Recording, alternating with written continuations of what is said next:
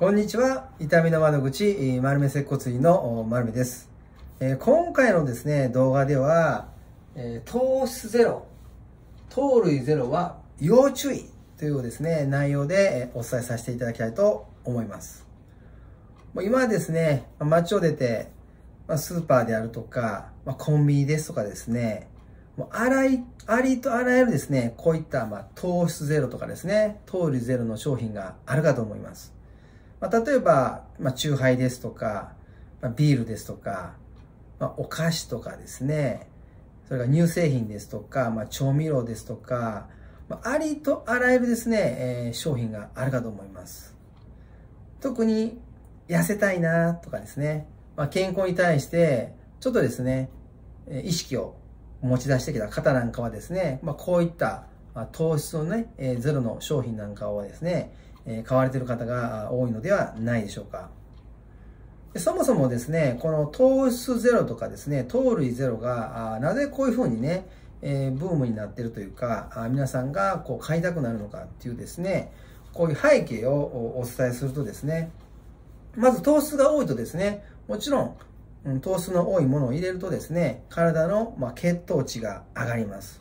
まその血糖値が、ま上がることによって、ま、人間の体っていうのは、本来の血糖値に戻そうとして、ま下げるわけなんですけども、この下げる時にですね、膵臓から、まインシュリンが分泌されるわけなんですけども、まインシュリンが分泌されることによって、ま血液中の、ま血糖がですね、ま体の細胞に取り込まれて、え、血糖が、血液中の血糖値がま下がるということになってくるわけですね。で、この時に、えー、あまり多くですね、吸収されると、それが、えー、身身となってね、まあ、脂肪となって、まあ、蓄えられてしまうということですね。まあ、あとはですね、そういうことが、まあ、続けてるとですね、まあ、動脈硬化であるとか、まあ、糖尿病とかですね、まあ、ありとあらゆる体の悪影響を及ぼすので、まあ、糖質を控えましょうと。いう流れになってきて、まあ、こういう商品がすごくまあ売れているということになってくるわけなんですね。で、このまずですね、まあ、糖質というものなんですけども、糖質であるとか糖類ですね。まずちょっとこちらのね、え図を見ていただきたわけなんですけれども、まあ、そもそも糖質っていうのは、まあ、何なのかってことですね。まあ、どういった種類のものがあるのかっていうのをですね、ここでちょっと知っていただきたいんですけども、この糖質っていうのはですね、この炭水化物から食物繊維ですね、これを引いたものが糖質と、糖質ということになります。じゃあ糖質には、まあ、どういった種類があるのかというとですね、この図の水色の、水色とピンクの色の部分になるわけなんですけれども、えー、糖質っていうのはですね、多糖類と糖アルコール、それからま人工の甘味料ですね。あとは天然の甘味料、それから糖類ですね。この4つですね、に分けることができるわけなんですね。じゃこの多糖類ってまどんなものがあるのかと言いますとですね、まあ、ここに書いてる通り、まあ、オリゴ糖とかでんぷんとかデキストリンとか、まあ、こういったものですね。だ糖アルコールはどんなものがあるのかというと、まあ、キシリトールであるとか、えー A3 トールであるとか、まあ、ソルビトールであるとか、いうものですね。人工とか、まあ、天然の甘味料ですね。まあ、こういうのはどういうものがあるのかというと、まあ、アスパルテームですとか、え、アスパルファムカリウムですとか、まあ、ステビアですね。まあ、こういったものが挙げられます。この糖類なんですけども、この糖類っていうのはですね、まあ、ピンク色のところになりますけど、糖質の一部になります。糖質の一部ですね。この糖類には、どんな種類に分けられるのかというと、まあ、単糖類と二糖類に分けられるわけなんですね。まあ、二糖類にはですね、例えばどういったものがあるのかというと、まあ、砂糖であるとかね、乳糖であるとか、まあ、バグカ糖であるとか、まあ、こういうものがあります。単糖類はというと、ブドウ糖とかね、果糖とか、まあ、こういったものになります。ですので、この糖質ゼロとかですね、えー、糖類ゼロ、っていうのはですね、ちょっと意味合いが違うわけなんですね。まあ、糖類ゼロだと、この絵を見てもらうと分かる通り、このピンク色の部分がないということなんですね。ピンク色の部分がない。つまり、まあ、多糖類であるとか、糖アルコールであるとか、まあ、甘味料ですね。この辺は入ってますよっていうことが言えるわけなんですね。じゃあ糖質ゼロの場合っていうのは、もちろん多糖類、糖アルコール、まあ、甘味料ですとか、まあ、二糖類、単糖類ですね。この辺は含まないという広い意味合いになってきます。じゃあ、それをもう少し踏み込んで説明したいと思います。じゃあ、本当に、まあ、ゼロって書いてるけど、本当にゼロなんですか？という話になってくるわけなんですけれども、実はですね、これ法律上で、えー、表記の仕方が決まっておりましてですね、まあ、非食品表示法というものがあるわけなんですけども、よくね、糖質ゼロとかですね、糖類ゼロとかね、えー、無糖質とかね、まあそういうね、えー、表記をされることがあるかと思うんですけども、この表記のですね、条件としてですね、例えば食品 100g、えー、飲料水 100ml ですね、このうち、まあ、糖質であっても糖類であっても 0.5g 未満であれば、まあ、無とかですね、まあ、ゼロというような表記をしてもいいですよっていうね、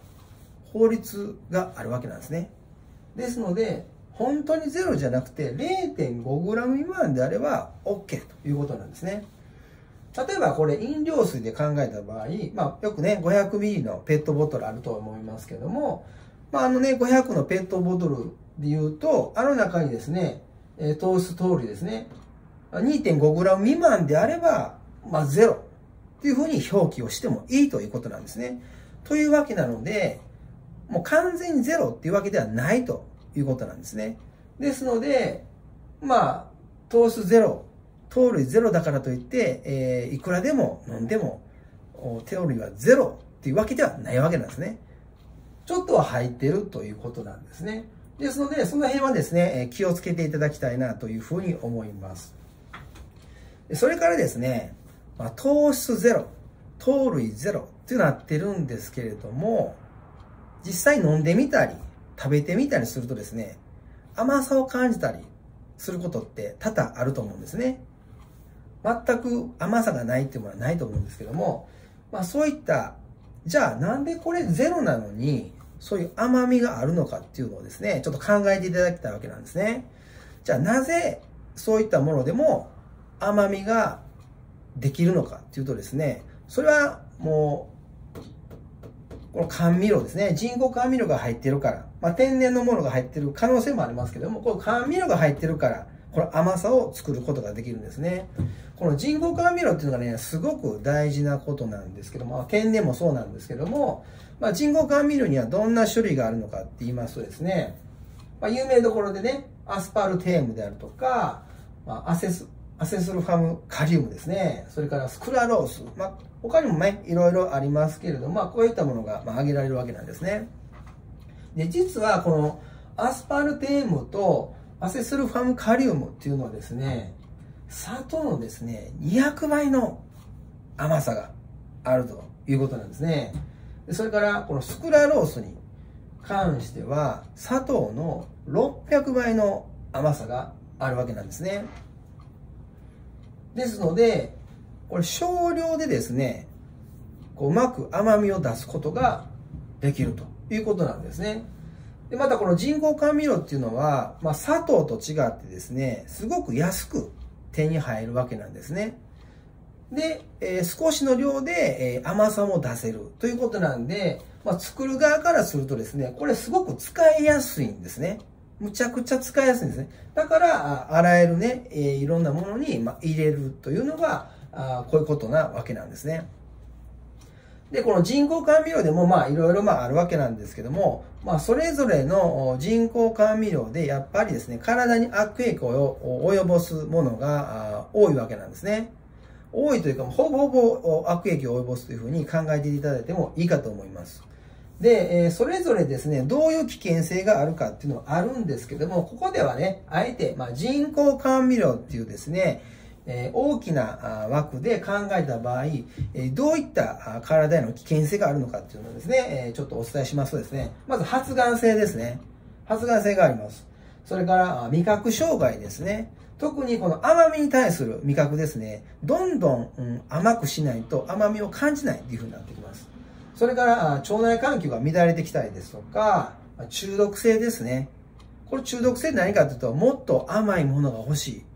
もっと甘いものが食べたくなる。というような、そういった中毒性ですね。それから肥満ですとか、まあ、糖尿ですとか、まあ、うつですね。それから不眠。それから精神疾患。まあ、こういったですね、広い範囲で体の悪影響を及ぼすということなんですね。ですので、えー、いくらですね、こう糖質ゼロとかですね、まあ、糖類ゼロとかですね、書かれてても、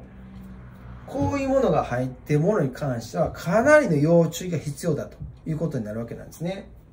ですので、まあ、こういうね、リスクがあるっていうことを知ってていただきたいなというふうに思います。